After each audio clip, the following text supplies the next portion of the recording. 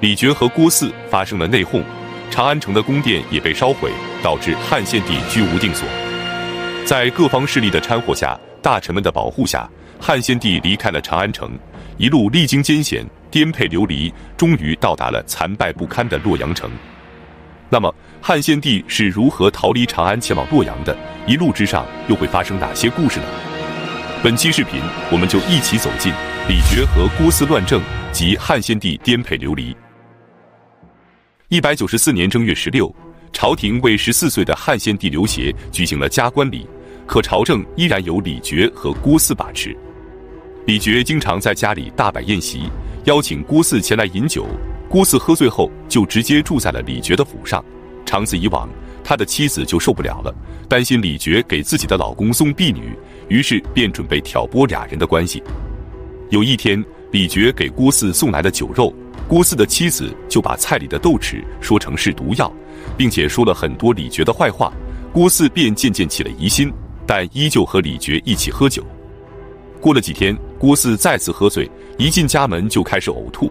他的妻子立即哭着说：“我给你说了多少遍，你就是不听。现在果真中毒了，可如何是好？”郭四听完后也感到害怕，连忙让妻子想办法。他的妻子便拿来了大粪汁让他喝下。郭汜保命要紧，只能将大粪汁喝了下去。一阵恶心后，将胃里的东西都给吐了出来。经历了这一番折磨后，郭汜愤然地说道：“我和李傕共同举兵，奈何他想害我？如果我不抢先动手，还能有活命的机会吗？”于是他便率兵攻打李傕。李傕得知后，更是怒不可遏，立即出兵抵抗。至此，两人彻底翻脸，一连打了几个月，死伤了上万人，可谁也战胜不了谁。汉献帝多次派人去调解，但双方都不肯听劝。一百九十五年三月。杨定与郭汜合谋，准备劫持汉献帝。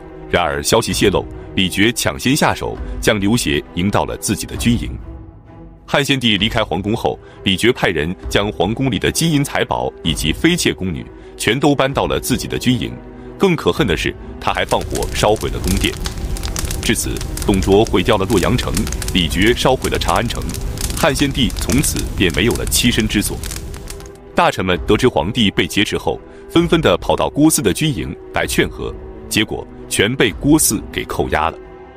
至此，李傕控制了皇帝，郭汜控制了大臣，这样的朝廷真可谓是千古奇谈了。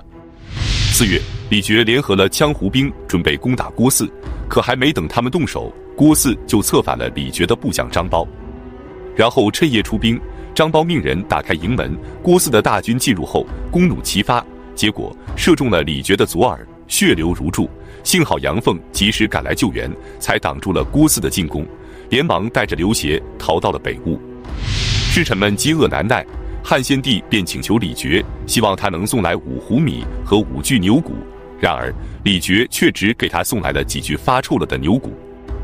就在李傕和郭汜打得不可开交的时候，镇东将军张继从陕县来到了长安，给出了一个能调停他们之间矛盾的办法，那就是让他们俩谁也别惦记汉献帝，让刘协前往自己的弘农郡。汉献帝一直想回洛阳，只要能到达弘农郡，就离洛阳不远了。于是他便派人去说服李傕和郭汜答应张继。前后商议了十多次后，李傕和郭汜终于同意和解。并许诺让各自的儿子到对方的军营里去当人质。然而，由于李傕的妻子舍不得自己的儿子，最后只能改为交换女儿为人质。七月，汉献帝终于离开了长安，准备前往弘农郡。当天夜里，他们便到达了霸陵。张继为百官提供了丰富的饮食。之后，张继回到了陕县，李傕率军前往池阳，郭汜则跟随汉献帝东归。可刚走不久，郭汜就后悔了。一旦汉献帝到达了弘农郡，他就彻底失去了权力。于是他建议汉献帝前往高陵，可刘协却说，祖宗的陵墓都在洛阳，而且母亲的陵墓修好后，他还没去看过呢。说完，他便开始绝食。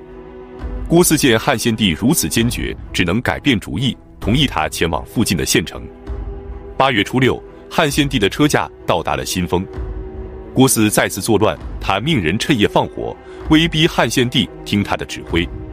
杨定和董承等人得知后，准备将汉献帝转移到杨凤的军营，然而却遭到了郭汜部将的阻拦。杨定等人只能率军迎战，斩首了五千余人后，郭汜只能率军败走。十月初五，车驾到达了华阴，段威携带着物资前来迎驾，请求刘协前往他的营寨。然而，由于杨定和段威有仇，便指使人劝说汉献帝，说段威意图谋反，千万不能去。可太尉杨彪、司徒赵温、侍中刘爱、尚书梁绍等人都表示段威可靠，愿意拿性命担保。于是汉献帝便准备进入段威的军营。这时，董承和杨定又诬陷说，郭汜已经率领着七百骑兵进入了段威的军营。刘协将信将疑，只能下令让车队停在路边休息。十月初时，杨定和董承等人请求皇帝下诏，准备攻打段威，可汉献帝没有同意。于是，杨定等人便擅自做主，派兵攻打段威。然而，连续攻打了十多天，却无法攻克。而段威一面应战，一面依旧侍奉百官，始终并无二心。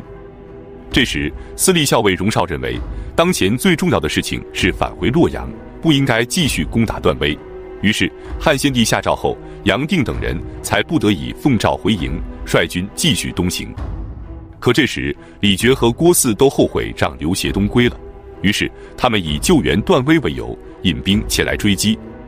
十一月初三，汉献帝的车驾到达了弘农县，张继让汉献帝停留在弘农，但杨凤和董承不同意，建议让汉献帝继续东归洛阳。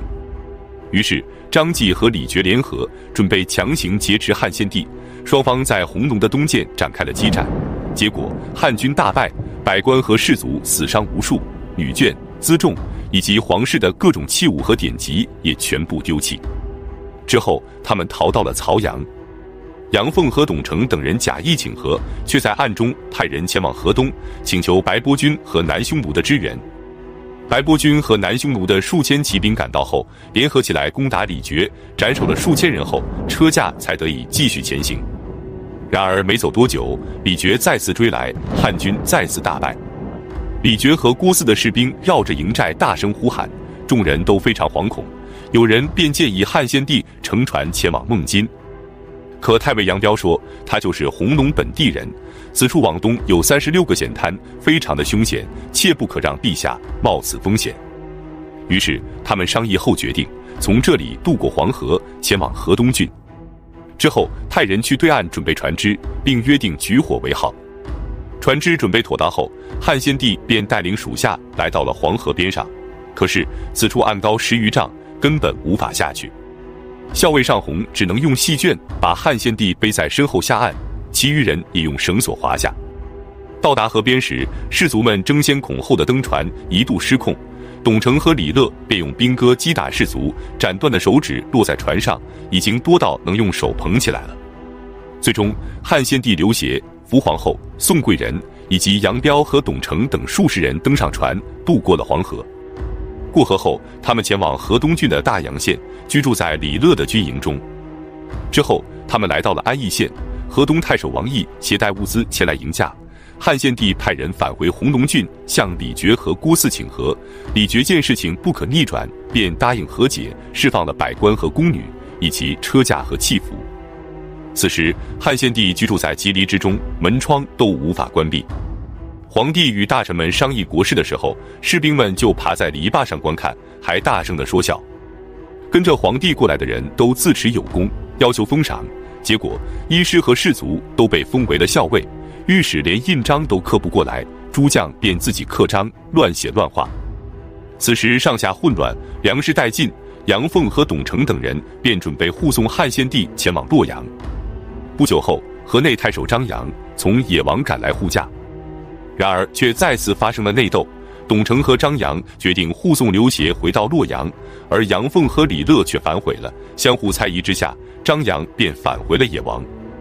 二月份，再次发生内斗。白波军的韩先率军攻打董承，董承逃到野王去投靠了张扬。随后，韩先屯兵于闻喜县，杨凤和胡才准备前去攻打，在汉献帝的及时制止下，才避免了刀兵相见。五月，汉献帝派人说服了杨凤和韩先等人，车驾才再次出发，准备前往洛阳。六月，车驾到达了闻喜县。这时，杨凤和胡才再次反悔，他们与李乐商议，准备带着汉献帝返回眉县，但汉献帝不同意，他们只能让车驾继续东归。张扬也再次从野王前来迎驾。七月一日，颠沛流离的汉献帝终于回到了洛阳，居住在以故中常侍赵忠的家里，让张扬负责去修缮宫殿。张扬以自己护驾有功，宫殿修成后，便将殿名命名为阳安殿。八月八日。刘协进入了南宫的阳安殿，可此时洛阳城其他的宫室都被董卓之前给烧毁了，百姓也迁往了长安。官员们到达这里后，非常的饥困，只能在墙壁之间避风。尚书郎以下的官员只能亲自外出采摘野生的稻谷充饥。在此期间，有人饿死在墙壁之间，有人被厉兵杀害，非常的悲惨。而韩先等人仗着护驾之功，肆意妄为，胡乱干政。董承深以为患。密诏兖州牧曹操前来救驾。本期视频就到这里，感谢观看，下期再见。